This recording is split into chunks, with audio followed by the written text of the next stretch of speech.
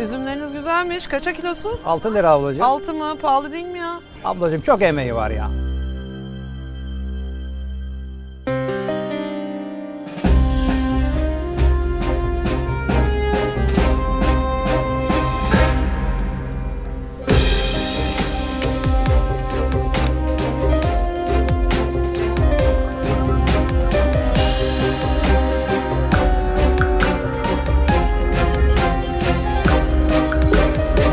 Tam bu paraya bak.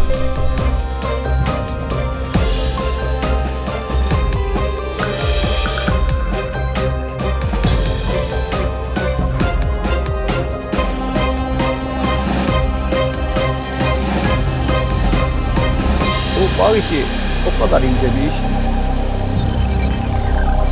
Benim adım Üzüm. Bu benim hikayem.